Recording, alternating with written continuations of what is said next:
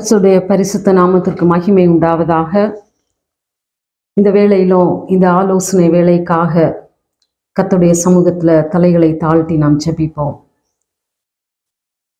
தகப்பனே உமக்கு நன்றி அப்பா. எங்களை நடத்துகிறவரே உமக்கு ஸ்தோத்திரம். எங்களை பெயர் சொல்லி அழைத்திருக்கிறவரே உமை ஸ்தோத்தரிக்கிறோம். அப்பா நாங்கள் ஆண்டவரை உம்மை தெரிந்து கொள்ளவில்லை. நீங்க எங்களை தெரிந்து கொண்டதற்காய் உமக்கு நாங்கள் நன்றி செலுத்துகிறோம். உம்முடைய பிள்ளைகளாய் அப்பா நீர் விரும்புகிற பாதையில ஓட எங்களுக்கு கிருபை தாங்க. கேட்கிற சத்தியங்கள் எங்க எல்லாருக்கும் பிரயோஜனமாயிருக்க. கத்தர் உதவி செய்யுங்க.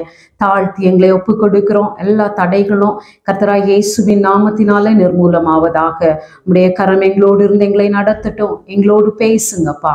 இயேசுவின் நாமத்தில் பிதாவே ஆமேன். இந்த நாளிலும் சிந்திக்கும்படியாய் தெரிந்து கொண்ட தலைப்பு தேவனுடைய மனிதன். அதற்கு ஆதாரமாக எடுத்துக்கொண்ட வசனம் ஒன்று ராஜாக்கள் பதினேழாவது அதிகாரம் ஒன்றாவது வசனம். ஒன்று ராஜாக்கள் பதினேழாவது அதிகாரம் ஒன்றாவது வசனம். கீழையாத்தின் குடிகளிலே திஸ்பியனாகிய எலியா ஆஹாபை நோக்கி என் வாக்கின்படியே அன்றி இந்த வருஷங்களிலே பனியும் மழையும் பெய்யாதிருக்கும் என்று இஸ்ரவேலின் தேவனாகிய கர்த்தருக்கு முன்பாக நிற்கிற நான் அவருடைய ஜீவனை கொண்டு சொல்லுகிறேன் என்றான். அப்போ நம்ம எல்லாரும் தேவனுடைய பிள்ளைகள் தான். தேவனுடைய மனுஷனாய் கர்த்தர் நம்மளை ஏற்படுத்தி வைத்திருக்கிறார். கர்த்தர் நம்மளை அப்படிதான் பாக்குறாங்க இப்போ இந்த தேவனுடைய மனுஷன் எலியா கர்த்தர் ஏற்படுத்தின தீர்க்க தரிசி அவர் ஒரு நோக்கத்தோடு தான் ஒவ்வொருத்தரையும் அழைத்திருக்கிறார். நம்மை முன் குறித்திருக்கிறார் நம்மை அறிந்திருக்கிறார். அப்போ அதை அவர் அவருக்கு எல்லாமே தெரியும். அவரால் அவருக்கு மறைக்கப்பட்டதில்லை. அவர் சகலத்தையும் முன் குறித்து பர்ஃபெக்டா பிளான் பண்ணி தான் காட் ஒவ்வொருத்தரையும் ஏற்படுத்தி வைத்திருக்கிறார். அவருக்குள்ளால நம்ம அழைத்திருக்கிறார். நாம் அவருக்குள்ளால வந்திருக்கிறோம். அப்ப நம்ம எல்லாரும் தேவனுடைய பிள்ளைகள் தான். தேவனுடைய மனுஷன் தான். அப்ப இந்த தேவனுடைய மனுஷனுடைய வாழ்க்கையில நடக்கிற காரியங்கள் எப்படி தேவனை பற்றி கொள்கிறார்? எப்படி தேவனை பற்றி கொள்ளும்போது கர்த்தருடைய சித்தத்திற்குள்ளாக காணப்படுகிறார்? எப்படி அவர் ஓடுகிறார்? சூழ்நிலைகள்ல சாயும் போது எப்படி காரியங்கள் மாறுகிறது என்பதை நம்ம பார்க்கலாம். இந்த தேவனுடைய மனுஷன் வந்து இந்த பதினேழாவது அதிகாரம் ஒன்று ராஜாக்கள் பதினேழு ஒண்ணுல பார்க்கும்போது கர்த்தருக்கு முன்பாக கர்த்தருக்குள்ளால சிறப்பட்டு நிற்கிற ஒரு பாத்திரமா நம்ம பார்க்கலாம். அவர் சொல்றாரு அந்த பதினேழாவது அதிகாரம் ஒன்று ரா- ராஜாக்கள் பதினேழு ஒன்றுல சொல்றாரு இஸ்ரவேலின் தேவனாகிய கர்த்தருக்கு முன்பாக நிற்கிற நான் அவருடைய ஜீவனை கொண்டு சொல்கிறேன். அப்ப அவரு அவருக்கு அவர் யாருக்கு முன்னால நிற்கிறார்? இஸ்ரவேலின் தேவனாகிய கர்த்தருக்கு முன்பாக நிற்கிற நான். அப்ப யாருக்கு முன்பாக நிற்கிறேன் என்று அவர் வந்து அறிக்கை இடுகிறார். யாருக்கு உள்ளால நான் கர்த்தருக்குள்ளால நிற்கிறேன் அப்படின்னு சொல்லிட்டு அறிக்கை இடுகிறார். அதன்படியே நிற்கிறார். ஆங்கில வேதாமத்துல பார்க்கும்போது as the Lord the God of Israel lives whom I serve யாரை நான் வந்து யாருடைய ஊழியக்காரனா இருக்கிறேன்? யாருக்கு நான் ஊழியம் செய்கிறேன்னா கர்த்தருக்கு. அந்த கர்த்தர் யாருன்னா இஸ்ரவேலின் தேவன். நான் யாருக்கு முன்னால நிற்கிறேன் அப்படின்னா அந்த இஸ்ரவேலின் தேவனாகிய கர்த்தருக்கு முன்னால whom I serve before whom I stand அவர் யாருன்னா lord the God of Israel அப்ப யாருனாலே ரட்சிக்கப்பட்டிருக்கிறேன்? யாருக்கு முன்னால நான் நிற்கிறேன்? யாருக்கு உள்ளால கர்த்தருக்குள் நான் நிற்கிறேன்? அப்படின்னு சொல்லி சாட்சி இடுகிற ஒரு மனுஷனாய் அப்படி போல்ட அறிக்கை பண்ணுகிற ஒரு மனுஷனாய் கர்த்தருக்குள்ள ஸ்திரப்பட்டு நிற்கிற ஒரு பாத்திரம் மூலமாய் இந்த எலியா எலியா தீர்க்கதரிசியை நம்ம பார்க்கிறோம் பார்க்கிறோம். அவர் சொல்றாரு மழையும் பெய்யாது பனியும் பெய்யாது. என் வார்த்தையின்படியே அல்லாமல் இந்த வருஷங்கள்ல மழை பெய்யாது பனி பெய்யாது. ஆனா கனம் வந்து என் வார்த்தை அப்படின்னு சொன்னாலும் கனம் யாருக்கு கொடுக்கிறாருன்னா கர்த்தருக்கு இஸ்ரவேலின் தேவனுக்கு. நான் அவருக்குள்ளால ஸ்திரப்பட்டு நிற்கிறேன். அவருடைய வார்த்தை எனக்குள்ளால காணப்படுது. அவர் சொல்லுகிறார் என் வாக்கின்படி மழை பெய்யாது பனி பெய்யாது அப்படின்னு சொல்லி வல்லமையான ஒரு அறிக்கையை செய்கிற கர்த்தருடைய மனுஷனாக கர்த்தருக்கு முன்னால நிற்கிறத நம்ம பார்க்கிறோம். அடுத்தது நம்ம பார்க்கும்போது தொடர்ந்து அந்த அதிகாரத்துல ரெண்டாவது வசனத்துல பின்பு கர்த்தருடைய வார்த்தை அவனுக்கு உண்டாயிற்று. கர்த்தருக்குள்ளால இருக்கிற பிள்ளைங்களுக்கு கர்த்தருக்குள்ளால ஸ்திரப்பட்டு இருக்கிற நமக்கு கர்த்தருடைய வார்த்தை உண்டாகும். கர்த்தருடைய வார்த்தை நம்மளை நோக்கி கடந்து வரும். கர்த்தருடைய வார்த்தை நமக்கு நேராக கர்த்தர் பேசுவாங்க. அப்போ கர்த்தருக்குள்ளால நம்ம இருக்கிறோமா? கர்த்தருக்குள்ளால நம்ம ஸ்திரப்பட்டு இருக்கிறோமா? God will speak to us கர்த்தர் நம்மளோட என்ன செய்வாங்க? இடைப்படுவாங்க. அப்படிதான் இந்த தேவனுடைய மனுஷன் கிட்ட கர்த்தர் வந்து இடைப்படுறாங்க. அவர் வந்து என்ன சொல்றாருன்னா பின்பு கர்த்தருடைய வார்த்தை அவனுக்கு உண்டாயிற்று. நீ இவ்விடத்தை விட்டு கீழ் திசையை நோக்கி போய் யோர்தானுக்கு நேரா இருக்கிற கேரித் ஆற்றங்கண்ட கீழ் ஆற்றண்டையில் ஒளிந்துரு. இப்பதான் பவர்ஃபுல்லா நிக்கிறாரு. சொல்றாரு நான் யாரு? நான் இஸ்ரவேலின் தேவனாகிய கர்த்தருடைய நாமத்துல நான் சொல்றேன் நான் அவருடைய ஊழியக்காரன் நான் அவருக்குள்ளால நிக்கிறேன் அப்படின்னு போல்டா சொன்னவரு அப்படி ஸ்ட்ராங்கா அறிக்கை பண்ணி அப்படி நிற்கிறவருக்கு அடுத்த வார்த்தை வருது நீங்க இருந்து போ. போய் என்ன செய்? ஒழித்து கொண்டிரு. பவர்ஃபுல்லா அப்படி வல்லமையா நிற்கிற மாதிரி இருக்கு. கர்த்தருடைய வார்த்தை வருது சொல்றாரு நீ இந்த இடத்த விட்டு போ. இந்த இடத்த விட்டு போ. என்ன செய்? ஒழித்துக்கொள் உன்னை நீ மறைத்துக்கொள் அப்ப கர்த்தருக்குள்ளால நம்ம காணப்படும் போது கர்த்தர் நம்மள்கிட்ட இடைப்படும் போது கர்த்தருக்கு உள்ளால தான் நம்ம மறைத்து கொள்ளப்படுறோம். கர்த்தருக்கு உள்ளால ஸ்திரப்பட்டு நிற்கிற பாத்திரங்கள் வந்து எந்த இடத்துல இருந்தாலும் கர்த்தருக்குள். அப்போ அவர் சொல்றாரு லீவ் ஹியர் நீ இங்க இருந்து போ. போய் நீ என்ன செய்? அந்த கேரி ஆற்றந்தையில ஒளிந்துரு. உன்னை ஒழித்துக்கொள். உன்னை மறைத்துக்கொள். அப்போ கர்த்தருடைய பிள்ளை வந்து தன்னை மறைத்து கொள்கிற. கர்த்தருக்குள் காணப்படும் போது தன்னை ஸ்திரப்படுத்தும்படியாய் கர்த்தர் வந்து ஒரு ப- ஒரு பர்பஸோட ஒரு காரியத்தை செய்யும்படியாய் கர்த்தர் நம்மளை ஏவும் போது அவர் சொல்லுவார் உன்னை நீ மறைச்சு கொள்ளு எனக்குள்ளால நீ உன்னை ஸ்திரப்படுத்திக்கொள். எனக்குள்ளால உன்னை திடப்படுத்திக்கொள். அப்படின்னு சொல்லி சொல்லும்போது பவர்ஃபுல்லா நின்று எல்லாருக்கு முன்னாலேயும் அறிக்கையிட்ட அந்த மனுஷன் ஒழித்து கொள்ளும்படியாய் இறங்கி அந்த இடத்தை விட்டு போறார். அப்போ அதுல அந்த மனுஷனுடைய அந்த குவாலிட்டியை நம்ம பார்க்கும்போது அந்த தீர்க்கதரிசனுடைய குவாலிட்டியை பார்க்கும்போது அப்படியே கர்த்தருடைய வார்த்தைக்கு கீழ்ப்படுகிறார். அப்போ தேவனுடைய மனுஷன் எப்படிப்பட்டவனா இருக்கணும்னா தேவனுடைய வார்த்தை வரும்போது நீ ஒளிந்து கொள் நீ இந்த இடத்தை விட்டு போ அப்படின்னு சொன்னாலும் அப்படியே கீழ்ப்படுகிற இருதயம் முழுமையாய் முழுமையாய் கீழ்ப்படுகிற அந்த இருதயம் வந்து அந்த எலிசா எலியா தீர்க்கதரிசிக்கு காணப்பட்டது. அந்த வார்த்தை சொல்லுது நீ வந்து அந்த ஆற்றங்கள் நாலாவது வசனம் அந்த ஆற்றின் தண்ணீரை குடிப்பாய் அங்கே உன்னை போஷிக்க காகங்களுக்கு கட்டளையிடுவேன். அஞ்சாவது வசனத்துல சொல்றாரு கேரித் ஆற்று அண்டையிலே தங்கி இருந்தான் அப்போ அந்த இடத்துல கர்த்தருடைய வார்த்தையின்படி கர்த்தருடைய வார்த்தையை விசுவாசித்து அந்த கர்த்தருடைய வார்த்தையை பற்றி கொண்டு அந்த கர்த்தருடைய வார்த்தையில அவன் நின்றான் அவன் தங்கி இருந்தான் கர்த்தருக்குள்ளால அந்த கேரித் ஆற்றண்டையில தங்கி இருக்கிறான் அப்போ அடுத்தது நம்ம பார்க்கும்போது he lived according to the word of God அவன் வார்த்தையின்படி வாழ்ந்தான். முதல்ல வார்த்தைக்கு கீழ்ப்படிந்தான் அடுத்தபடியாக நம்ம அவன்கிட்ட அந்த எலியா தீர்க்கதரிசிகிட்ட பார்க்கும்போது அந்த வார்த்தையின்படியே வாழ்ந்தாரு. கீழ்ப்படுகிறேன் கீழ்ப்படுகிறேன் ஒப்பு கொடுக்கிறவர்களாய் மாத்திரம் அல்ல அந்த வார்த்தையின்படி வாழுகிறவர்களாய். எலிசா தீர்க்கதரிசி அந்த இடத்துல தங்கி இருந்தார். அப்போ அந்த வார்த்தையின்படி வாழுகிறவர்களாய் தேவனுடைய பிள்ளைகள் தேவனுடைய மனிதன் காணப்பட்டான். நாம் அப்படி காணப்பட வேண்டும். பார்க்கும்போது கர்த்தர் என்ன சொல்றாருன்னா நீ அங்க தங்கியிரு நீ ஒளித்திரு இந்த இடத்தை விட்டு போன்னு சொன்ன கர்த்தர் என்ன சொல்றாரு? ஒரு கட்டளை கொடுக்கிறார். கட்டளை கொடுக்கும்போது அந்த கட்டளை என்ன அப்படின்னு சொல்லி பார்க்கும்போது காகங்கள் ஆஹ், அவனுக்கு ஆறாவது வசனம் காகங்கள் அவனுக்கு விடிய காலத்தில் அப்பமும் இறைச்சியும் சாயங்காலத்தில் அப்பமும் இறைச்சியும் கொண்டு வந்தன. தாகத்திற்கு அந்த ஆற்றின் தண்ணீரை குடித்தான். நாலாவது வசனத்துல சொல்லியிருக்கு அந்த ஆற்றின் தண்ணீரை குடிப்பாய் அங்கே உன்னை போஷிக்க காகங்களுக்கு கட்டளையிடுவேன். காட் வந்து கமாண்ட் பண்றார் கட்டளையிடுறாரு. கீழ்ப்படுகிறான் கர்த்தருடைய வார்த்தையின்படியே நடக்கிறான். அது வந்து கர்த்தருடைய கட்டளை என்று அறிந்திருக்கிறான். அப்போ அஹ், ஏதோ வார்த்தை சொல்றாங்க வசனம் பைபிள்ல உள்ள வசனம். இல்ல நமக்கு நேராய் தேவனுடைய மனுஷனுக்கு நேராய் வருகிற கட்டளை அது. எப்படி ஒரு ராஜா அந்த மந்திரிகளுக்கு எப்படி ஒரு உயர் அதிகாரி இல்ல நம்ம வேலை பார்க்கிற ஆர்க இன்ஸ்டிடியூஷன்ஸ்ல எப்படி ஒரு கட்டளை பிறக்கப்படுது ஒரு கமாண்ட் தரப்படுது அதை எப்படி சீரியஸா எடுத்துக்கொண்டு அப்படியே நிறைவேற்றும்படியாய் அழைக்கப்பட்டிருக்கிறோம் அதுதான் அந்த இடத்துல நம்ம மேல எதிர்பார்க்கப்படுகிறது. அப்படி கட் கட்டளை கொடுக்கப்படுது. அதை கட்டளையாய் ஏற்றுக்கொண்டு போறாரு. அப்போ வேற ஒரு காரியமும் நடக்குது. காகங்களுக்கும் கர்த்தர் கட்டளை கொடுக்குறாங்க. அப்போ காகங்களுக்கு கர்த்தர் கட்டளை கொடுக்குறாரு.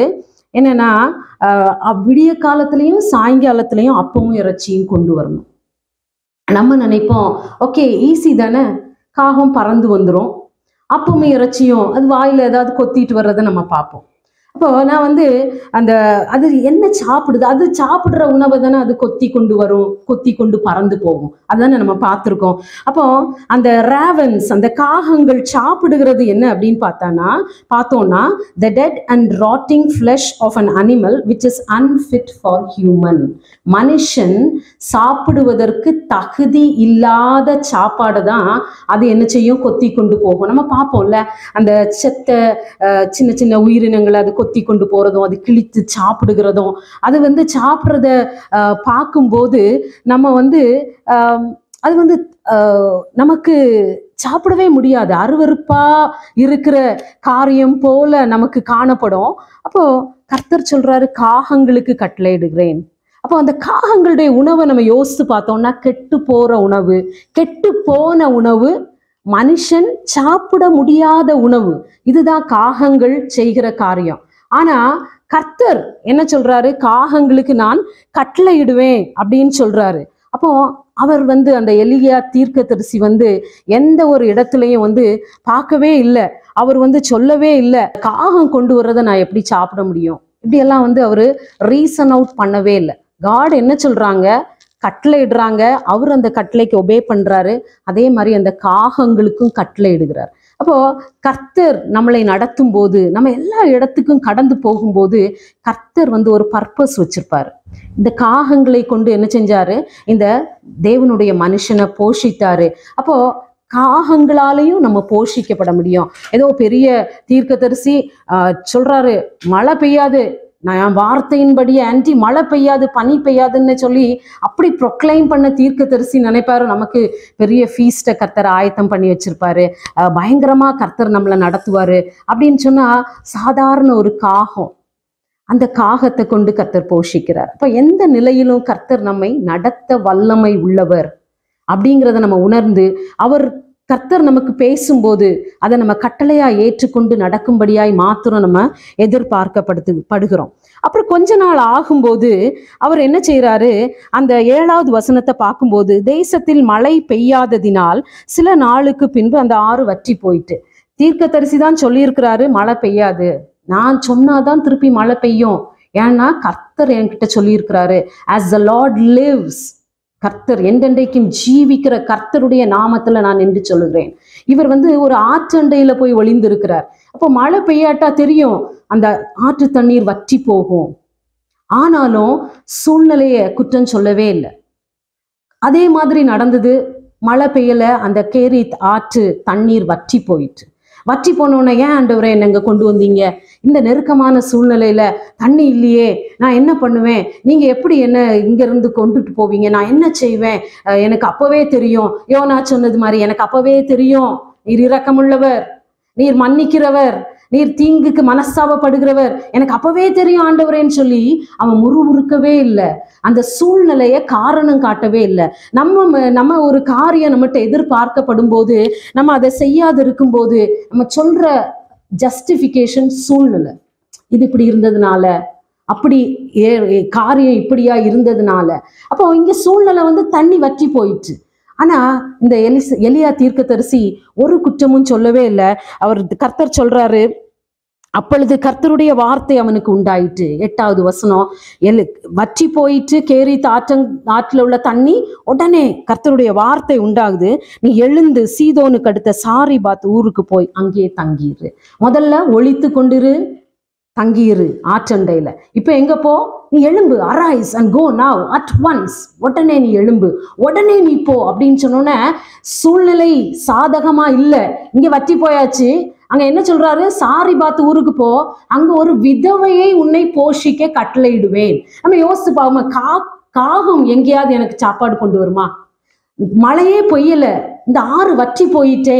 இதுல இருந்து எனக்கு என்ன நன்மை கிடைக்கும்? இங்க தங்கீருன்னு வேற சொல்றாரே.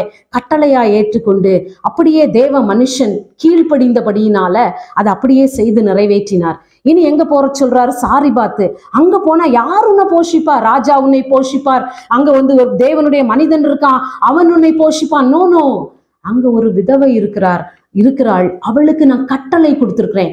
காகத்துக்கு கட்டளை கொடுத்த கர்த்தர் இப்போ சொல்றாரு நான் விதவைக்கு கட்டளை கொடுத்து கொடுத்திருக்கிறேன் அப்படின்னு. அப்போ அடுத்தபடியா நம்ம பார்க்கும்போது அவருடைய விசுவாசம். அந்த விசுவாசம் அந்த நம்பிக்கை. தேவனுடைய மஷ் மனுஷன் ஆகிய எலியா கர்த்தரை விசுவாசிச்சான்.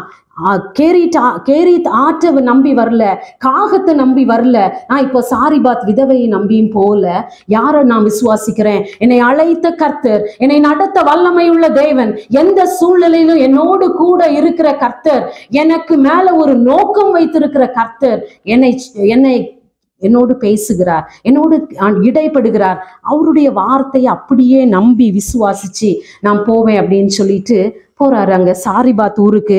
அப்படியே போறார். ஏன்னா he is our provider Jehovah ஈரேவா கர்த்தர் தான் நடத்துவார். சாரிபாத் விதவை இல்லை நம்மளை நடத்துறது. காகம் இல்லை நம்மளை நடத்துறது. கேரி அண்டையில் உள்ள அந்த ஆற்றில் உள்ள தண்ணீர் அல்ல நம்மளை போஷிப்பது.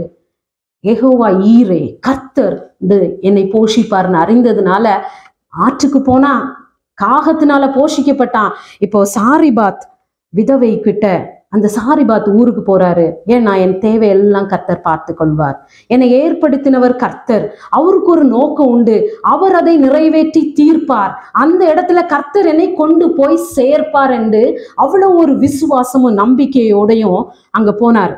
அங்க போகும்போது நம்ம அறிந்திருக்கிறோம். அந்த பதிமூணாவது வ- வ- அந்த பத்தாவது வசனத்துல இருந்தே இருக்குது. அப்போ இவர் சொல்றாரு அங்கே ஒரு விதவை என்ன செய்தா? விறகு பொறுக்கி கொண்டிருந்தாள். அவளை பார்த்து கொஞ்சம் தண்ணி கொண்டு வா. ஆஹ், ஒரு வேதாகம டிரான்ஸ்லேஷன்ல ப்ளீஸ் ப்ளீஸ் கொஞ்சம் வாட்டர் கொஞ்சம் எனக்கு தண்ணி கொண்டு வா அப்படின்னு சொல்லிட்டு அவர் என்ன செய்கிறார் தன்னை தாழ்த்துகிறார். அந்த விதவை கிட்ட இருந்து எனக்கு என்ன கிடைக்க போகுது? இவ என்ன என்ன நடத்த போகிறா? இவ என்ன என்ன போஷிக்க போகிறா? இல்ல இல்ல. கர்த்தருடைய வார்த்தையின்படி தாழ்மைப்பட்டு நின்றான் அந்த தீர்க்க தரிசி தேவனுடைய மனுஷன். அவர் தண்ணி கேட்கிறார். தண்ணி கேட்கும்போது அவங்க சொல்றாங்க தண்ணி கொண்டு வர்றதுக்கு போறாங்க. அப்போ அந்த கட்டளை கர்த்தர் பயன்படுத்த நினைத்தா யாரை கொண்டு நம்மளை நடத்துவார்? எப்படியும் எந்த பாதையிலும் நம்மளை நடத்துவார்? யாரை கொண்டும் கர்த்தர் நம்மளை போஷிப்பார்? அவள் திரும்பும்போது அவர் சொல்றாரு நீ வந்து அப்படியே ஒரு அடையும் கொண்டு வா அப்படின்னு. அப்போ அவங்க சொல்ற ரீசன் நான் விறகு பொறுக்க வந்த காரியமே எதுக்கு? கொஞ்சோல கொஞ்சமாக இருக்கிற அந்த மாவையும் எண்ணெயும் வைத்து ஒரு அடைய பண்ணி நானும் என் பிள்ளையும் சாப்பிட்டு விட்டு சாகுவதற்கு. இப்போ எனக்கு அந்த வேர்டு வந்து கொஞ்சம் டிஃப்ரெண்டாக இருந்து சாக தான் போகிறோம் அதென்ன சாப்பிட்டு விட்டு சாக வேண்டும். இல்லை மனுஷனுக்கு எண்ணத்தை பாருங்க. நான் சாக போறேன். நான் எப்படியே கடைசி வரை நான் சாப்பிட்டுட்டு நானும் என் பிள்ளையும் செத்து போவோம். அதுக்கு கொஞ்சம் வச்சிருக்கேன். அப்போ கர்த்தருக்குடைய கர்த்தருக்கு கொடுக்கிற மனதில்ல சில வேளைகளை நம்ம என் சூழ்நிலை நான் சாக போறேன். முடிஞ்சு. ஃபினிஷ்ட் நான் என்ன பண்ண போறேன்? எனக்கு வச்சிருக்கேன். அப்புறம் கர்த்தர் சொல்றாங்க தீர்க்கதரிசியின் மூலமாய் நீ பயப்படாத. அந்த வசனத்தை நம்ம பார்க்கும்போது பதிமூன்றாவது வயசு வசனம் நீ பயப்படாத. நீ போய் வார்த்தையின்படி ஆயத்தப்படுத்து. என் வார்த்தையின்படி நீ ஆயத்தப்படுத்து. நீ பயப்படாத. சூழ்நிலைகளை கண்டு எல்லாம் முடிந்ததென்று. எனக்கு லைஃப் அவ்வளவுதான். இனி ஒன்றுமே அடுத்த ஸ்டெப் நகர முடியாதென்று நினைத்து நம்ம சோர்ந்து போய் அவ்வளவுதான். அப்படின்னு நினைக்கும் போது அந்த தீர்க்கதரிசி சொல்றாரு நீ பயப்படாத. நீ போய் ஆயத்தப்படுத்து. அப்போ அந்த வார்த்தையை நம்ம கவனமா பார்க்கும்போது அடை என்கிட்ட இல்லை. ஆயத்தப்படுத்தி நான் ஒன்றும் வைக்கல. ஆயத்தமா நான் இல்லை. ஆனா கொஞ்சம் மாவும் எண்ணெயும் இருக்கு. பேக் பண்ண கேக் வந்து என்கிட்ட இல்லை. அவர் சொல்றாரு ஒரு பிரெட் ஒரு பேக் பண்ண ரெடியா வைத்திருக்கிற ஃபுட்ல முதல்ல எனக்கு கொண்டு வா. அப்படின்னா அவ சொல்றா என்கிட்ட அடை ஒண்ணுமே இல்லை. அப்ப நான் என்ன செய்யல முடியல? என்கிட்ட ரெடியா ஒன்றும் இல்லை. ஆனா அவர் சொல்றாரு நீ பயப்படாத. நீ ஆயத்தப்படுத்து. அப்படி அப்படி சொல்லும்போது கர்த்தர் நம்ம ஒன்றுமே இல்லாம இருக்கும். நம்முடைய நிலைமைகள் ஒன்றுமே இல்லாதது போல இருந்தாலும் நீ பயப்படாத. கர்த்தர் சொல்றார் நீ ஆயத்தப்படு. என் வார்த்தைக்கு நீ கீழ்ப்படி. எனக்குள்ளால நீ ஓடி வா. நான் உன்னை நடத்த வல்லமை உள்ளவர். நான் வந்து இந்த எலியா தீர்க்கதரிசி ஒரு பெரிய தீர்க்கதரிசியை போஷிக்கும்படியாய் உன்னை நான் ஏற்படுத்தி வைத்திருக்கிறேன். அது மட்டுமா? உன் குடும்பம் இந்த பஞ்சத்துல தப்பிக்கும்படியாய் இந்த தீர்க்கத்தரிசியை நான் கொண்டு வந்திருக்கிறேன். அது மட்டுமா? உன் பிள்ளை வியாதிப்பட்டு மரணத்துக்கு ஏதுவாய் கடந்து போக போகிறான். அவனுக்கு ஜீவனை கொடுக்கும்படியாய் உன்னை ரட்சிக்கும்படியாய். அவ சொல்ற நானும் என் பிள்ளையும் செத்து போகும்படியாய். ஆனா சாரிபாத் விதவைக்கு எலியா தீர்க்கதரிசி கொண்டு வரப்பட்ட நோக்கம் அவளும் அவள் பிள்ளையும் அவள் குடும்பமும் ஜீவிக்கும்படியாய். மரணத்திற்கு ஏதுவான வியாதி வரும்போது அந்த மகன் உயிர்ப்பிக்கும்படியாய். அவள் இவர் தேவனுடைய மனுஷன் என்று இவரை தேவன் நடத்துகிறார் என்று அறிந்து கொள்ளும்படியாய். இந்த சாரிபாத் விதவைக்கு முன்பாக இந்த எலியா தீர்க்கதரிசி நிற்கிறார். இப்ப நீ பயப்படாத. நம்ம என்ன சூழ்நிலையில இருந்தாலும் நம்ம ஃபிக்ஸ் பண்ண வேண்டாம். என்கிட்ட பிரெட் இல்லை. என்கிட்ட அடை இல்லைன்னு சொல்லி நம்ம ஃபிக்ஸ் பண்ண வேண்டாம். ஆயத்தப்படு. ஆயத்தப்படுத்து. கர்த்தருடைய சமூகத்துல ஒப்பு கொடு பயம் நம்மளை ஆளுக செய்துட்டுனா நம்ம கிரியை செய்ய முடியாது. காட் எப்பவுமே கர்த்தர் சொல்றாங்க நீ பயப்படாத. என் பிள்ளைய நீ பயப்படாத. ரெடிமேடா ஃபுட் உன்கிட்ட இல்லைன்னா நீ ஆயத்தப்படுத்து. ஏன்னா நீ ஆயத்தப்படுத்த ஆரம்பிக்கும் போது உன் பானையில் உள்ள உன் எண்ணெய் உன் உன் மாவு உன் கலசத்தில் உள்ள எண்ணெய் அது குறைந்து போவதில்லை. அது செ- செலவழிந்து போவதில்லை. பஞ்சம் தீரும்படி வரைக்கும் நான் உன்னை பே போஷிக்கிற கர்த்தர் நான் உன்னை நடத்துகிற கர்த்தர். அந்த வார்த்தையின்படியே அவள் கீழ்ப்படிந்து அந்த அடையை உண்டு பண்ணி முதலாவது தேவனுடைய மனுஷனுக்கு கொடுத்தா அவள் பிழைத்திருந்தாள். அவளுடைய பிள்ளை சாகல. அவளுடைய குடும்பம் பிழைத்திருந்து அந்த பஞ்ச காலத்துல கர்த்தர் நடத்தினார். அவர்தான் தேவன் என்பதை அந்த தேவனுடைய மனுஷன் மூலமாய் அறிந்து அறிக்கையிட்டதை அந்த பிள்ளை உயிர் பிழைக்கும் போது அறிக்கையிட்டதை நம்ம பார்க்கிறோம். இப்போ தேவனுடைய ம மனுஷன் பர்ஃபெக்டா அந்த ரோல்ல ஃபிக்ஸ் பண்ணி அப்படி நிக்கிறாரு. கிளியரா கர்த்தருக்குள்ளால இருக்கிறாரு சிறப்பட்டு இருக்கிறாரு நம்பிக்கை நம்பிக்கை இருக்கு கீழ்ப்படுகிறாரு விசுவாசிக்கிறாரு. போற வழியில கர்த்தருடைய பிள்ளைகள் உன்னை மட்டும் இல்ல கர்த்தர் நடத்துகிறது. உன்னை கொண்டு கர்த்தர் அநேகரை போஷிப்பார். உன்னை கொண்டு கர்த்தர் அநேகரை உயிர்ப்பிப்பார். உன்னை கொண்டு கர்த்தர் அநேகரை அவருக்குள்ளால வழி நடத்த வைப்பாரு பர்ஃபெக்டா இந்த எலியா தீர்க்கதரிசி நிற்கிறாரு. அடுத்தது பார்க்கும்போது அதை விட பெரிய காரியம் ஒன்று ராஜாக்கள் பதினெட்டு ஒன்று அந்த அது வசனத்துல இருந்து பார்க்கும் பார்க்கும்போது கர்த்தர் சொன்னார் ஒளிச்சிரு கா- அங்- கேரி தண்டைக்கு போ சாரிபாத்துக்கு போ உனக்கு சாப்பாடு காகத்தையும் விதவையும் தந்து போஷிப்பேன்னு சொன்ன கர்த்தர் இப்ப சொல்றாரு எலும்பு நீ போய் ராஜாக்கு முன்னால உன்னை என்ன செய்? காண்பி. ஒளிச்சிருந்தாலாவது பரவாயில்ல. என்ன கொல்ல நினைக்கிற ராஜாக்கு முன்னால நீ என்ன செய்? போய் காண்பி. உடனே கீழ்ப்படிந்தவராய். அப்போ தாழ்ந்த நிலையிலும் கீழ்ப்படிந்திருந்தார். இப்போ ஜீவனுக்கு ஏதுவான ஒரு காரியம். நீ என்ன செய்யி தேவனுக்கு அந்த ராஜாக்கு முன்னால நான் ஆஹாபுக்கு முன்னால உன்னை காண்பின்னு சொன்ன உடனே அந்த பதினெட்டாவது அதிகாரம் எட்டாவது வசனத்துல சொல்லுவாரு அந்த உபதியா கிட்ட அவன் அந்த எலியா தீர்க்கதரிசி நான் தான். நீ போய் இதோ எலியா வந்திருக்கிறேன் வந்திருக்கிறான் என்று உன் ஆண்டவனுக்கு சொல்லு. அவன் சொல்றான் எலியாவை பார்த்தேன்னு சொன்னாலே என்ன கொண்டு போட்டுருவான்? ஏன்னா நீர் எடுத்துக்கொள்ளப்படுவீர் நீர் எங்கேயா மறைஞ்சு போவீர். இவர் சொல்றாரு போய் சொல்லுவோம் ஆண்டவன்கிட்ட எலியா வந்திருக்கிறேன். எவ்வளவு ஒரு விசுவாசம் எவ்வளவு ஒரு பவர்ஃபுல் மேனா கர்த்தர் அந்த இடத்துல எலியாவை நிற்க பண்ணி இருக்கிறார் அந்த எலியா ஒரு பவர்ஃபுல் வல்லமையுள்ள ஒரு பாத்திரமாய் அந்த இடத்துல நிற்கிறாரு. அப்போ அந்த பதினஞ்சாவது வசனத்தை பார்க்கும்போது அதற்கு எலியா இன்றைக்கு என்னை அவனுக்கு காண்பிப்பேன் என்று சேனைகளின் கர்த்தருக்கு முன்பாக நிற்கிற நான் அவருடைய ஜீவனை கொண்டு செல் சொல்லுகிறேன். எதுக்கு நான் நிற்கிறேன்னா சேனைகளின் கர்த்தருடைய நாமத்தினால. நான் அவனை அவனுக்கு முன்பாக என்னை காண்பிப்பேன் என்று அந்த எல்லா வசனம் முதல் அதிகாரம் பதினேழு ஒன்றுலேயே அப்படிதான் இருக்கும். சேனைகளின் கர்த்தர் இஸ்ரவேலின் தேவன். இப்போமா கர்த்தர் தான் முன்னிலைப்படுத்துறாரு. எந்த இடத்துலையும் வல்லமையாய் பயன்படுத்தப்பட்ட பாத்திரமாய் அவன் காணப்பட்டாலும் முன்னிலைப்படுத்துறது யாருன்னா கர்த்தர். அப்ப எந்த நிலையில நம்ம காணப்பட்டாலும் கர்த்தர் எப்படி நம்மளை பிரயோஜனப்படுத்தினாலும் முன்னிலைப்படுத்த வேண்டியது யாரு? கர்த்தரை. அவர் சொல்றாரு சேனைகளின் கர்த்தருக்கு முன்பாக நிற்கிற நான் அவருடைய ஜீவனை கொண்டு சொல்லுகிறேன். எனது நான் இன்னைக்கு அவனுக்கு முன்னால என்ன? காண்பிப்பேன்.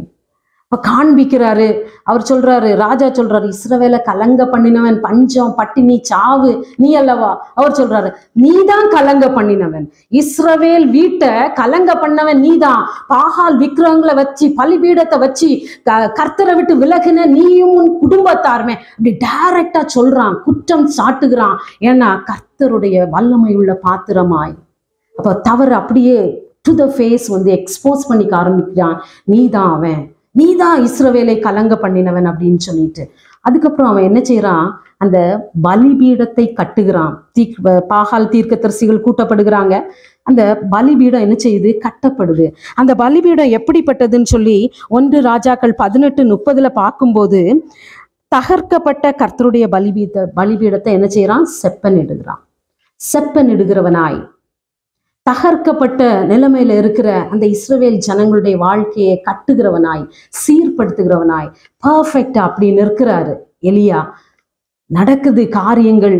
அப்படியே வானத்திலிருந்து அக்கினி இறங்கி வந்து அந்த பலி அந்த மண்ணு அந்த விறகு அந்த தண்ணீரை கூட நக்கி போட்டிட்டு அவ்வளவு வல்லமையாய் கர்த்தருடைய அந்த அக்கினி இறங்கும்படியாய் ஒரு பாத்திரமா நிற்கிறான். சோ பவர்ஃபுல் வல்லமையுள்ள மனுஷன். ஆனா அதே இது பார்க்கும்போது நம்ம அடுத்த அதிகாரத்துல பத்தொன்பதாவது அதிகாரத்துல நம்ம பார்க்கும்போது அவருக்கு அப்படியே டோட்டலி அப்படியே சேஞ்ச் ஆகிற காரியத்தை நம்ம பார்க்கலாம். ரெண்டாவது வசனத்துல இந்த ஆகாப்பே ஏசபேல்கிட்ட சொல்லிடுறாங்க இப்படி வந்து பாகால் தீர்க்க தரிசி நானூற்றம்பது பேரை வெட்டி போட்டான் அப்படின்னு. உடனே பா ஏசபேல் வந்து மெசேஜ் அனுப்புறாங்க. மெசேஜ் அனுப்புறாங்க என்னன்னா அப்பொழுது எசபேல் எலியாவினிடத்தில் ஆள் அனுப்பி அவர்களில் ஒவ்வொருவனுடைய பிராணனுக்கு செய்யப்பட்டது போல நான் நாளைக்கு இந்நேரத்தில் உன் பிராணனுக்கு செய்யாதே போனால் தேவர்கள் அதற்கு சரியாகவும் அதற்கு அதிகமாகவும் எனக்கு செய்ய கடவுங்க நீ நானூற்றம்பது வேற உன் பட்டயத்தால கொண்டு வெட்டி போட்ட என் பாகாலுடைய தீர்க்கதரிசிகளை நாளைக்கு இந்நேரம் அதே மாதிரி உனக்கு நான் செய்யாவிட்டால் என் தேவர்கள் எனக்கு அதற்கு சரியாகவும் அதற்கு மேலாகவும் செய்வாங்க. அந்த நான் பாகால்ல தான் கீழே விழ பண்ணி இஸ்ரவேல் ஜனங்களையே கர்த்தரே தேவன் கர்த்தரே தேவன் என்று பணிய வச்சு நானூற்றி ஐம்பது பாகால் தீர்க்க தரிசியை வல்லமையான ஊழியக்காரனாய் கர்த்தருடைய வல்லமையான பாத்திரமாய் நின்று வெட்டி போட்டவன். அவனுக்குள்ளால வருது சோர்வு அவனுக்குள்ளால வருது பயம். என்ன பண்றான் அப்படின்னு பார்க்கும்போது ஹி வாஸ் அஃப்ரைட் என்ன செய்யறான் அது அவனுக்கு தெரிந்த போது எழுந்து தன் பிராணனை காக்க யூதேயாவை சேர்ந்த பேர்சபாவுக்கு ஓடி போறான். சோர்வு வருது. இவ்வளவு பவர்ஃபுல்லான ஒரு பெரிய காரியத்தை செய்தவன் சோர்வடைந்தவனாய் என்ன செய்யறான் அதை கேட்ட உடனே தன் பிராணனை காக்க ஓடி போறான். இப்போ சுயமாய் செயல்பட ஆரம்பிக்கிறான். கர்த்தருடைய வார்த்தையின்படி கர்த்தருடைய சித்தத்தின்படி அப்படியே கீழ்ப்படிந்து விசுவாசித்து வல்லமையுள்ள ஊழியக்காரனாய் நின்றவன் சுயமா என்ன செய்யறான் ஓடுறான். பயப்படுறான். ஓடுறான். அவன் என்ன செய்யறான் அவன் வேலைக்காரனை கீழே நிறுத்தியாச்சு. அவனுடைய ஊழியத்தை அவன் என்ன செய்தாச்சு? வேலைக்காரன் ஊழியத்துக்கு வேண்டாம். எனக்கு வேண்டாம் அப்படின்னு சொல்லி ஊழியத்தை ஸ்டாப் பண்றான். ஊழியத்தை மனசுக்குள்ளால என்ன செய்யறான் ஸ்டாப் பண்றான். போய் என்ன செய்யறாருன்னா அந்த நான்காவது வசனம் பிரயாணம் பண்ணி போய் ஒரு சூறை செடியின் கீழே உட்கார்ந்து நான் சாக வேண்டும் என்று கோரி போதும் கத்தாவே என்னை எடுத்துக்கொள். போதும் கத்தாவே என்னை எடுத்துக்கொள்ளுங்க. நான் சாகணும். என் ஆத்மாவை எடுத்துக்கொள்ளுங்க. என் பிதாக்களை பார்க்கலும் நான் நல்லவன் என்று சொல்லி சாக வேண்டும் என்று க- கேட்கிற அவன் இங்க எதுக்கு ஜீவன் தப்ப ஓடி வந்தான்? சாகணும்னு சொல்லி தீர்மானிச்சா அந்த ஏசபேலுக்கு முன்னால நின்று கர்த்தருக்காய் வைராக்கியம் பாராட்டி தன் ஜீவனையும் பெரிதாய் நினைக்க வேண்டாம் என்று நின்றிருக்க வேண்டவன். சரி நான் ஜீவன் தப்ப ஓடி வந்தேன்னா இங்க வந்து சொல்றான் திருப்பி நான் சாக வேண்டும். நான் சாகாதபடி ஓடணும். கர்த்தருடைய சமூகத்துல வந்து என்ன சொல்றாரு? சாக வேணும். அப்போ அவருடைய ஃபோக்கஸ் என்ன செய்யுது? சேஞ்ச் ஆகுது. கர்த்தருடைய சமூகத்துல இருந்து அவருடைய ஃபோக்கஸ் சேஞ்ச் ஆகுது. சூரியன் செடியின் கீழே படுத்து கொள்றான். நான் சாக வேணும்னு சொல்றான். ஆத்துமாவை எடுத்துக்கொள்ளணும்னு சொல்றான். அதுக்கு அவன் நியாயம் சொல்றான் இப்போ. சூழ்நிலைகளை பார்க்காதவன் சூழ்நிலைகளை அஹ், ஒருபோதும் அவனுடைய காரியத்திற்கு சார்ந்து இருக்காதவன் அவன் சொல்றான் என் பிதாக்களை பார்க்கலாம் நான் நல்லவன் இல்லை அவன் என்னை கொன்று போடுவேன்னு சொன்னா நான் ஒருவன் மாத்திரம் இருக்கேன். போதும். ஃபினிஷ் அப்போ சோர்வு வரும்போது நம்முடைய ஃபோக்கஸ் கர்த்தரை விட்டு சூழ்நிலைக்கு கர்த்தரை விட்டு மனுஷ மனுஷர்களுக்கு நேராய். கர்த்தரை விட்டுட்டு கர்த்தர் என்னை நடத்துவார் கர்த்தர் என்னை பாதுகாப்பார் கர்த்தருடைய வல்லமையான பாத்திரம் நான் என்பதை மறந்து சூழ்நிலையை சார்ந்து மனுஷர்கள் மீது குற்றம் சுமத்தி தன்னுடைய ஊழியத்தை அவன் என்ன செய்யறான்? ஸ்லோ பண்றான். தேவனுடைய மனுஷர்களாகிய நாம் ஒருபோதும் நம்ம சூழ்நிலையை காரணம் காட்டி நம்ம ஃபோக்கஸ் சேஞ்ச் ஆயிட்டுன்னு அர்த்தம். மனுஷர்களை காரணம் காட்டி ஊழியத்துல ஸ்லோ டவுன் ஆக வேண்டியது நம்முடைய காரியமே அல்ல. அது தேவனுடைய காரியம். அதை தேவன் நடத்துவார். ஆனா அவர் வந்து படுத்துக்கொண்டு அடுத்தது ஸ்லீப்பிங் மோடு நித்திரைக்கு போயாச்சு. இன்ஆக்டிவ் மோடுக்கு ஆனா கர்த்தர் விடலை. அப்பத்தையும் தண்ணியும் கொண்டு வைக்கிறாரு. எழுப்புறான் தூதன். எழுப்பி போஜனம் கொடுத்தா நீ ஓடுறதுக்கு போஜனம். அவன் போஜனத்தை எடுத்துட்டு என்ன செய்யறான்? திருப்பி படுத்து தூங்குறான். கர்த்தர் விடல. கர்த்தர் திருப்பி திரும்ப திரும்ப எவ்வளவு தீமை செய்தாலும் எவ்வளவு பாவம் செய்தாலும் கர்த்தர் வந்து நமக்கு எச்சரிப்பு இல்லாம ஒரு காரியத்தையுமே செய்ய மாட்டார். அப்படியே அடிக்க மாட்டார் கர்த்தர். நம்ம பார்த்துருக்குறோம் நிறைய ராஜாக்களுடைய அஹ், அந்த ஹிஸ்டரியில இப்ப இவர் சொல்றாரு ரெண்டாவது தடவை சாப்பாடு கொடுத்து சொல்றாரு நீ எலும்பு நீ போக வேண்டிய தூரம் வெகு தூரம் அப்படின்னு சொல்லிட்டு. அப்போ அவர் வந்து எழும்பி நாற்பது நாள் ரா பகல் அந்த சாப்பிட்ட அந்த அப்பமும் தண்ணீரும் அந்த பலத்தினால ஓடுறார். அப்போ அந்த ஓடி போய் அந்த ஒரு மலை கெபிக்குள்ளால ஒளிந்து கொள்கிறார். அப்போ க- கர்த்தர் வந்து வெளிப்படுறாங்க கேட்குறாங்க இங்க உனக்கு என்ன காரியம்? கெபிக்குள்ளால தங்கி இருந்தான் என்று வேதவசனம் சொல்லுது. தங்கி இருக்கும்படியாக அல்ல. ஊழியக்காரனை மலையின் கீழே நிறுத்தும்படியாய் அல்ல. நீ சூறை செடியின் கீழ் படுத்துக் கொள்ளும்படியாய் அல்ல. நீ நித்திரை செய்யும்படியாய் அல்ல. நீ போக வேண்டிய பிரயாணம் வெகு தூரம். நீ உனக்கு இங்க என்ன வேலை? அவனுடைய ஆதங்கத்தை எல்லாம் கொட்டுவான். அந்த ஆதங்கத்தை எல்லாம் கொட்டும்போது அவர் வந்து ஆஹ், சொல்லுவாரு நான் வந்து ஒருத்தை மாத்திரம்தான் இருந்தேன். அந்த ஒன்று சாமுவேல் பத்தொன்பதாவது அதிகாரம் பதினாலாவது வசனம் சேனைகளின் தேவனாகிய கர்த்தருக்காக வெகு பக்தி வைராக்கியமாய் இருந்தேன். பாஸ்டன்ஸுக்கு ஆக்கியாச்சு. நான் வெகு பக்தி வைராக்கியமாய் இருந்தேன். என் பழைய வாழ்க்கை நான் ஸ்டார்ட் பண்ணேன். பக்தி வைராக்கியமாய் இருந்தேன். இஸ்ரவேல் புத்திரர் உமது உடன்படிக்கையை தள்ளிவிட்டார்கள். மனுஷன் மேல குற்றம் சாட்டுறான். உடைய பலிபீடங்களை எடுத்தாங்க உடைய தீர்க்க தரிசியை கொண்டு போட்டாங்க. நான் ஒருத்தை மாத்திரம் மீதி இருக்கேன். அவனுடைய ஆதங்கத்தை எல்லாம் கொட்டுறான் கர்த்தருடைய சமூகத்துல. நீ சோர்ந்து போனாயோ? உன் போக்கஸ் கர்த்தரை விட்டு விலகி விட்டதோ? நீ சூழ்நிலையை பார்க்கிறாயோ? நீ மனிதனை பார்க்கிறாயோ? நீ சூறை செடியின் கீழ் படுத்துக்கொண்டு நித்திரை செய்கிறாயோ? கர்த்தர் இந்த வேலையில உன்னோடு இடைப்படுகிறார். உன் இருதயத்துல என்ன ஆதங்கம் இருந்தாலும் என்ன வேதனை இருந்தாலும் என்ன மன வலி இருந்தாலும் அதை கர்த்தருடைய சமூகத்துல நீ கொட்டும்படியாய் கர்த்தருடைய சமூகத்துல நீ ஒப்பு கொடுக்கும்படியாய் கர்த்தர் அவனோடு பேசினார். உனக்கு இங்க என்ன காரியம்? நீ ரெண்டு ராஜாவை அபிஷேகம் பண்ணணும் ஒரு தீர்க்க தரிசி அபிஷேகம் பண்ணணும். இது உன்னுடைய காரியம் என்று. அவர் என்ன செய்யறாரு அப்படி பலப்படுத்தி ஸ்திரப்படுத்தினவராய் ஸ்திரப்படுத்தப்பட்ட பாத்திரமாய் அவர் அந்த காரியங்கள் எல்லாம் செய்து நிறைவேற்றுகிறார். அப்போ நம்ம சோர்ந்து போய் சோர்ந்து போனோம்னா ஞாபகம் வச்சுக்கோங்க நம்ம ஃபோக்கஸ் கத்தரை விட்டு விலகிட்டு. கத்தரை விட்டு விலகிட்டுனா வெறு வெகு பக்தி வைராக்கியமாய் இருந்தேன் அப்படின்னு பாஸ்டன்ஸ்ல நம்ம சொல்ல வேண்டிய காரியங்கள் வரும். ஆனா ஏசாய நாற்பது இருபத்தெட்டுல இருந்து முப்பது வரை நம்ம பார்க்கும்போது பூமியின் கடையாந்திரங்களில் கடையாந்திரங்களை சிருஷ்டித்த கர்த்தராகி அனாதி தேவன் சோர்ந்து போவதில்லை.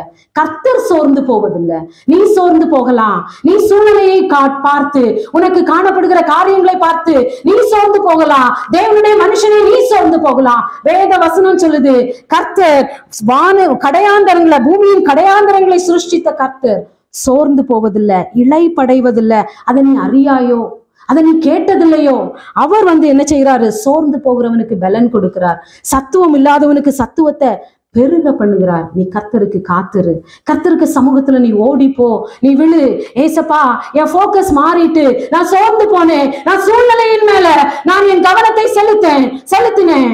நீங்க ஏற்படுத்தின நிலையிலிருந்து கர்த்தருக்குள்ளால இருந்து நான் விலகி போயிருக்கிறேன் என்று உணர்ந்து கர்த்தருடைய சமூகத்துல நம்ம விழும்போது கர்த்தர் இரண்டு ராஜாக்களை அபிஷேகம் பண்ணி தீர்க்க தரிசியை அபிஷேகம் பண்ணும்படியாய் கர்த்தர் அவனை ஏற்படுத்தினார். தலைகளை தாழ்த்தி கர்த்துடைய சமூகத்துல நம்ம ஒப்பு கொடுப்போம். தேவனுடைய மனுஷன். ஹாலலூயா தேவனுடைய மனுஷன் கர்த்தருக்குள்ளால தன்னை சிறப்படுத்தி நின்றவன் கீழ்ப்படிந்தவன் வல்லமையான பாத்திரமாய் பயன்படுத்தப்பட்டவன் சூழ்நிலைகளை குற்றம் சொல்லாதவன். சோர்வு அவன் பிராணனுக்கு அவன் ஜீவனுக்கு எதிராய் வரும்போது ஓடி போனான் விழுந்து கிடந்தான் நித்திரை பண்ணினான் ஒழித்து கொண்டான். நான் சாக வேண்டும் என்று சொன்னான். ஆனா கர்த்தர் அவனை தட்டி எழுப்பி அவனை பலப்படுத்தி அவனை கொண்டு செய்ய நினைத்ததை நிறைவேற்றினார். கர்த்தர் செய்ய நினைத்தது நம்ம வாழ்க்கையில தடைபடாது என்பதை நம்ம எப்போதும் அறிந்தவர்களாய் கர்த்தருடைய சமூகத்துல நம்மளை ஒப்பு கொடுப்போம் ஏன்னா கர்த்தர் சோர்ந்து போவதில்லை. நம்ம சோர்ந்து போலாம். பூமியின் கடையாந்திரங்களை சிருஷ்டித்த கர்த்தர் சோர்ந்து போவதில்லை. அவர் உன் சத்துவத்தை பெருக பண்ணுகிறார். நம்ம ஒப்பு கொடுத்தவர்களாய் thank you lord thank you Jesus hallelujah கர்த்தர். ஹலலூயா தேங்க்யூ லார்ட் கண்டுனை அழைத்த தேவன் கைவிடுவாரோ? கண்டு உன்- கண்டு உன்னை அழைத்த தெய்வம் கைவிடுவாரோ? சோர்ந்து போகாதே. மனமே சோர்ந்து போகாதே. சோர்ந்து போகாதே. தேங்க்யூ லார்ட் அப்பா எங்களை கண்டு அழைத்தவங்க நீங்க ஆண்டவரை. நீர் சோர்ந்து போவது இல்லப்பா நாங்கள் எந்த சூழ்நிலையில் வழி நடந்தாலும். ஹலலூயா எங்களை கண்டு அழைத்த தெய்வம் எங்களை கொண்டு செய்த நினைத்த காரியத்தை நிறைவேற்ற வல்லமையுள்ள கர்த்தர். எங்களை நடத்த வல்லமை உள்ளவர் என்று அறிந்து அப்பா எங்களுடைய சத்துவத்தை பெருக பண்ணுகிறவரிடத்துல எங்களை ஒப்பு கொடுக்கிறோம். கர்த்தர் எங்க எல்லாரையும் ஆண்டு நடத்துவீராக தேவனுடைய மனுஷனாய் நிறுத்துவீராக. தாழ்த்தி ஒப்பு கொடுக்கிறோம். இயேசுவின் நாமத்தில் பிதாவே ஆமன்.